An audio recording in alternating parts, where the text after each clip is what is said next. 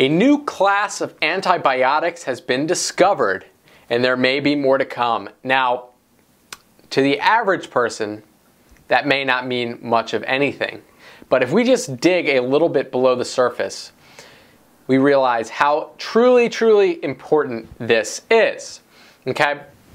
So, the biggest challenge of the 20 and 21st century has been the rise of bacteria that are resistant to antibiotics. So, ever since we developed the first antibiotic, we have been dealing with this backlash of overprescription and overuse of antibiotics, creating bacteria that are resistant to it.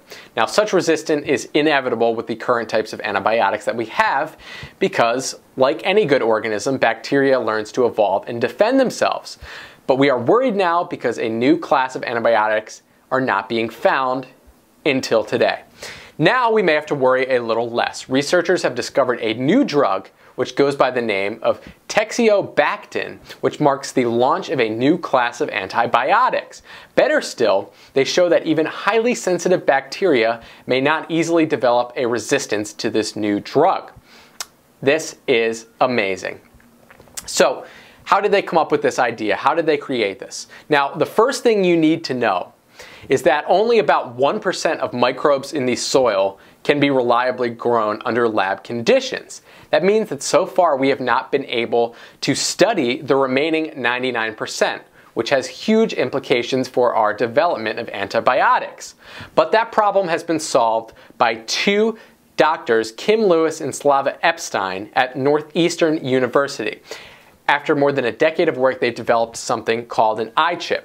So how it works is they dilute a sample of a soil and they pour it on an iChip, which is basically just like a chip like this, which has hundreds of small holes. And these holes are so small and covered with membranes that when they place the diluted soil sample on it, only one microbe is caught in each hole.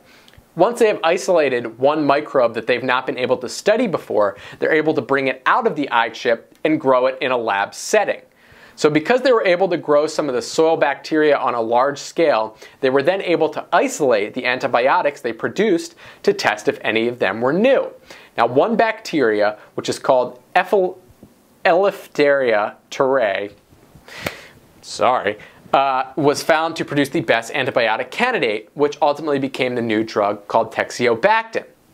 Okay, now what's so important about this new drug is that is an essential precursor required for the production of cell walls and bacteria. It attacks that precursor and allows cells to not have like a strong wall, which ultimately kills the bacteria.